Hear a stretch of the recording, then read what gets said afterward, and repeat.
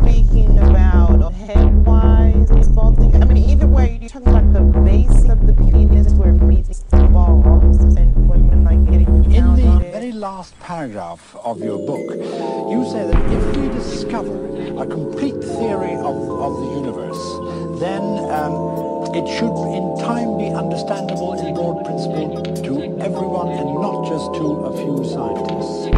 To- and I quote, if we find the answer to that, it would be the ultimate triumph of human reason, for then we would know the mind of God. Of